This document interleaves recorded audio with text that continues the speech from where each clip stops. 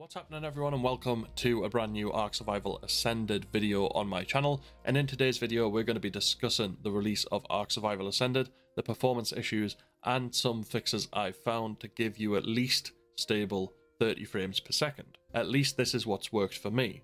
So Ark Survival Ascended, if you didn't know, is out now on Steam and the game is rapidly climbing Steam's top 100 played games by concurrent players list. Ark Survival Ascended currently has a mixed user review rating of 42%, with most of the negative reviews complaining about performance issues. In the official Ark Discord as well, a lot of people are complaining about performance issues and the very low frames per second that they are getting, regardless of what setup they have for their PC. Some people are experiencing no issues, and that varies with whatever specifications they have for their PC as well, so it's not like you are guaranteed a good performance if you have above a certain spec of PC. The system requirements for Ark Survival Ascended are a minimum of Windows 10 or 11 with updates. Your processor should be a minimum of AMD Ryzen 5 2600X or Intel Core i7 6800K. Your memory should be at least 16GB of RAM. The minimum graphics cards are AMD Radeon RX 5600 XT or NVIDIA GeForce 1080. DirectX should be version 12, you need a broadband internet connection, and you need at least 70 gigabytes of available space, and you need an SSD. The recommended specifications for Ark Survival Ascended are an operating system of Windows 10 or 11 with updates.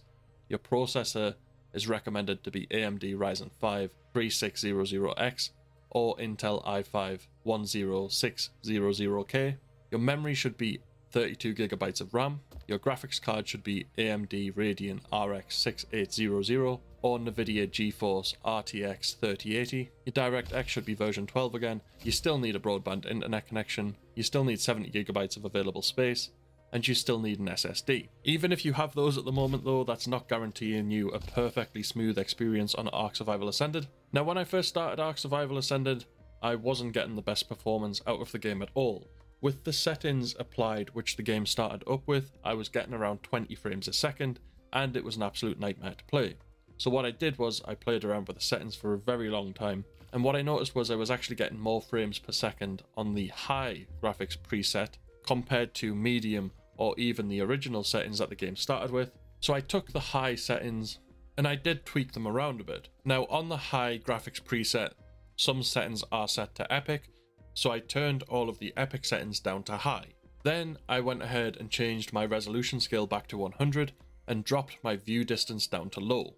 I also turned off motion blur, light bloom, and I changed the foliage interaction distance multiplier to 1.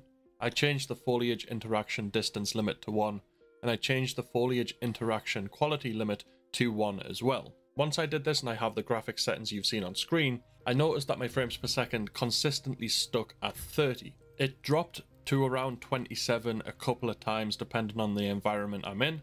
It goes above 30 as well every now and again, but it tends to be a stable 30, which is enough to actually play the game. If you are struggling with your frames per second on Ark Survival Ascended, I definitely recommend trying the settings I've suggested. Obviously feel free to tweak them around even more to get the settings right for you but that is my temporary fix for my performance issues on Ark Survival Ascended. But that is it for today's video, so please do let me know down in the comment section below if my recommended settings for Ark Survival Ascended have helped you improve your frames per second and performance of the game. It would be interesting to know if this sort of fix does work for a lot more people than just myself. If you've enjoyed this video and you have found it helpful, make sure to smash a like on it to show support for the game on the channel. And if you are new to the channel and you've enjoyed the video, make sure to subscribe to be kept up to date with all future releases. But other than that, we'll see you in the next video.